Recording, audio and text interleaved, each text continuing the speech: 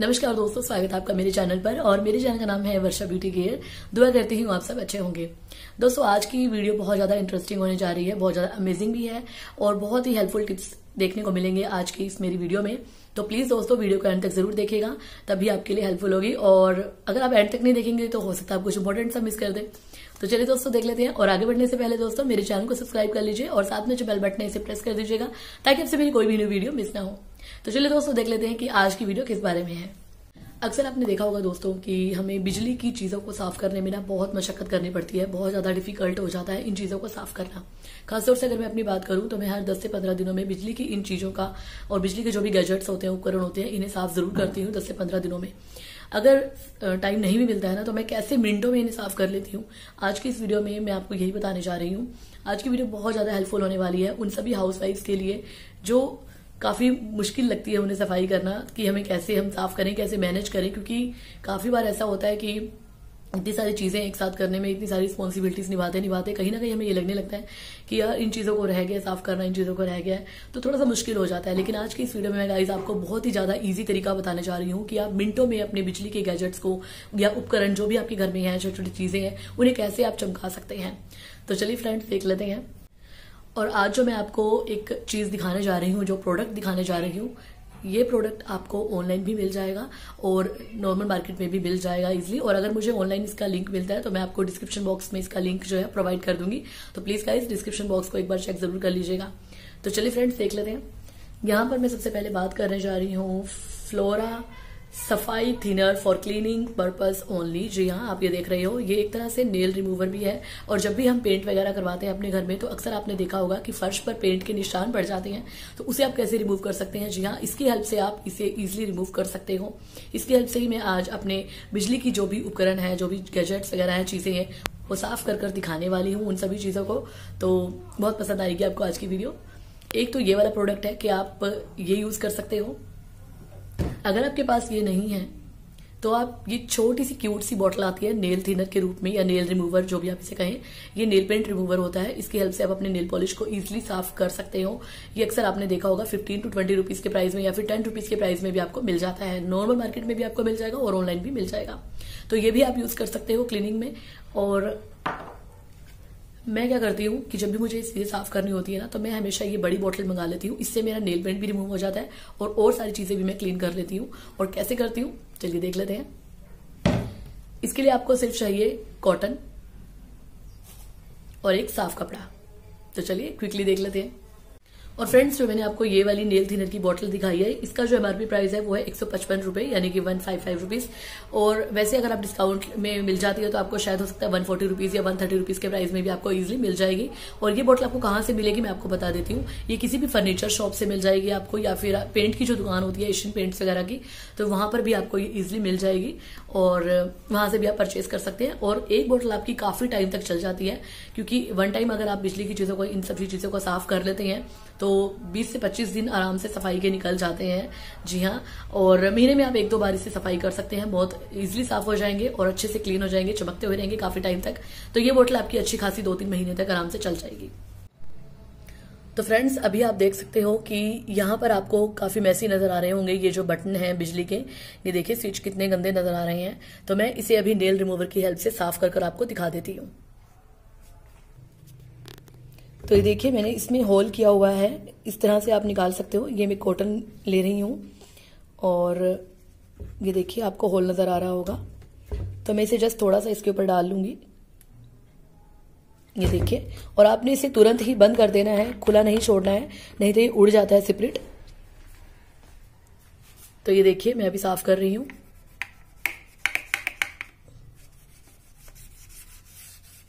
ये देखिए, कितना इजीली साफ़ हो जाते हैं गाइस इसकी हेल्प से। और आपको ज़्यादा रगड़ने की या मतलब ज़्यादा बहुत ज़्यादा इसे करने की ज़रूरत नहीं है। हल्के हाथों से भी करेंगे ना तो देखिए कितने अच्छे से साफ़ हो गए हैं गाइस कितना चमक गए हैं, ये देखिए। ये देखिए। और यहाँ से आप इसमें और इसमें फ़र्क भी देख सकते हो। ये देखिए।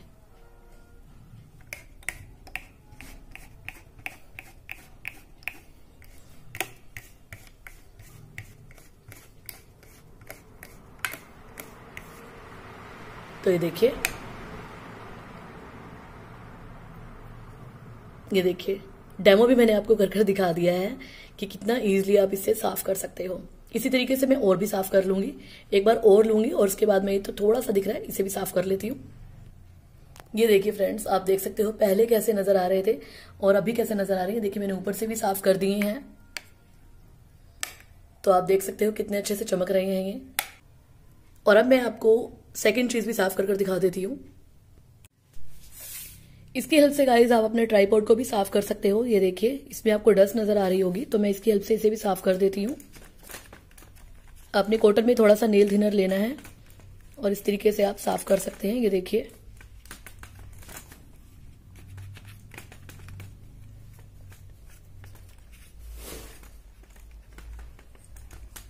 ये देखिए, कितने अच्छे से चमक गया है ये, साफ़ हो गया है।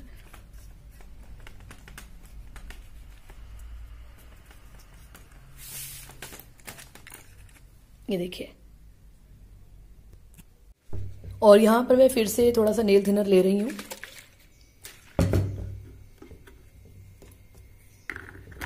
और इसकी हेल्प से फ्रेंड्स मैं ये फ़ोन आपको क्लीन कर कर दिखाने जा रही हूँ। जी हाँ इसकी हेल्प से आप अपने मोबाइल को भी क्लीन कर सकते हो। ये देखिए। जितने भी स्क्रैच वगैरह होते हैं ना फ़ोन पर, या घी के काफ़ी बार हाथ लगे होते हैं, चिकनाई वाले गंदे हाथ लगे होते हैं तो वो भी साफ़ हो जाएँगे। ये देखिए। इसके बाद आप सूखे कपड़े से इसे साफ़ कर दीजिए। ये देखिए, आप देख सकते हो फ्रेंड्स कितने अच्छे से साफ़ हो गया है। नेक्स्ट दोस्तों, मैं आपको साफ़ कर कर दिखाने जा रही हूँ चीज़। ये आप देख सकते हो, ये हेलमेट ये राज का हेलमेट है और काफ़ी मैसी हो रहा है, ये आप देख सकते हो साइडों से भी। और चलिए, मैं इसे भी साफ़ कर कर दिखा देती हूँ आपको। इसका जो मिरर है, अक्सर आपने देखा होगा, इस पर डस्ट जमा हो जाती है और बहुत ज़्यादा गंदा हो जाता है। तो ये देखिए, थोड़ा सा ही साफ़ करने में आपको कितना फ़र्क नज़र आ रहा होगा। ये देखिए।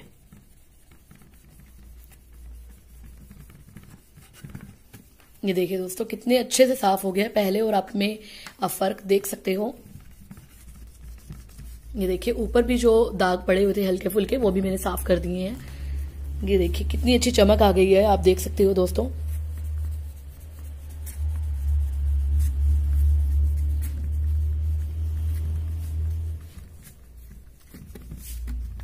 ये देखिए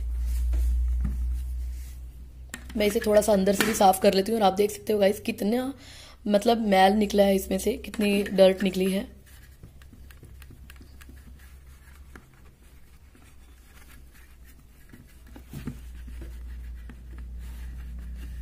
ये देखिए। आप देख सकते हो कितने अच्छे से साफ़ हो गया है।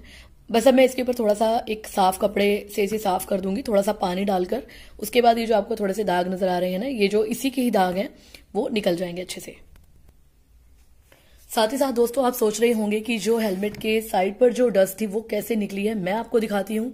बहुत ही अमेजिंग एक ट्रिक बताने जा रही हूँ, क्योंकि साइडों पर जो होती है ना डस्ट, वो निकलती नहीं है। क्योंकि मैंने जब साफ़ करने की कोशिश की तो सामने से तो सारा साफ़ हो गया था, इसका जो मिरर था।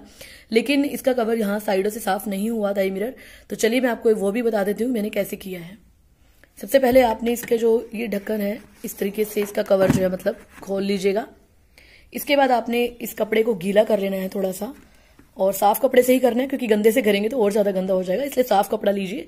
ये देखिए, मैं आपको एक हाथ से ही कर कर दिखा रही हूँ, डेमो जो दिखा रही हूँ। ये देखिए, मैंने गीला कपड़ा लेकर इसके बीच में फंसा दिया था, और इसे थोड़ा सा इस तरीके से कर लीजिए, हिलाकर। तो ये देखिए, कितने अच्छे से ये साफ़ हो गया है। ये निकल जाएगा, डोंट वरी। ये देखिए कितने अच्छे से इसकी जो बारीकी में मिट्टी फंसी हुई थी, वो भी निकल गई है। ये भी बहुत अच्छी ट्रिक है गाइस इस तरीके से भी आप अपने हस्बैंड को खुश कर सकते हैं, उनका हेलमेट साफ़ कर कर। तो ये देखिए। और पहले से कितना ज़्यादा साफ़ लग रहा है, आप देख सकते हो बिफोर एंड आफ्टर में।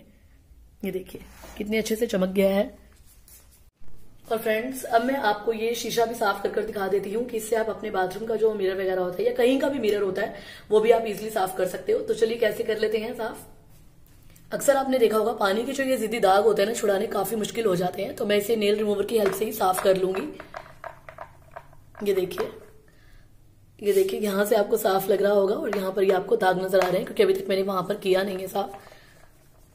तो ये देखिएगा, इस कितना इजीली आप इसे साफ़ कर सकते हैं अपने मिरर को भी। ये देखिए, कितने अच्छे से चमक गया है, आप देख सकते हो। बस आप इसे एक सूखे कपड़े की हेल्प से साफ़ कर लीजिए, ये साफ़ हो जाएगा। ये देखिए दोस्तों, कितने अच्छे से मिरर जो है वो साफ़ हो चुका है। उम्मीद करती हूँ आपको ये वाला ट्रिक भी पसंद आया होगा। और अक्सर आपने देखा होगा दोस्तों, कि फर्श पर जब भी नेल पेंट गिर जाती है ना तो इसे साफ़ करना थोड़ा सा मुश्किल हो जाता है। तो इसे भी मैं इसकी हेल्प से ही साफ़ कर रही हूँ। ये देखिए। ये देखिए। साथ ही साथ दोस्तों, आपको एक न्यू मेंबर से मिलवाना चाहती हूँ। ये आप देख सकते हो, ये है एचपी का प्रिंटर तो मैंने इसे अभी हाल ही में परचेज किया है और आज इंस्टॉल कर कर गए हैं वो भैया। तो मैंने इसे आज ही मतलब लगवा लिया है और मैंने ये क्यों खरीदा मैं आपको बता देती हूँ। एक्चुअली आप जानते ही हैं कि बच्चों के आजकल जो ग्रुप होते हैं स्कूल में व्हाट्सएप ग्रुप बने होते हैं, उनमें उनका होमवर्क जो है वो डेली आता है। तो ऐसे में मोबाइल पर उनके लिए काम करना सेफ़ नहीं होता है, ज़्यादा देर तक वो मोबाइल में आके गड़ा कर रखते हैं।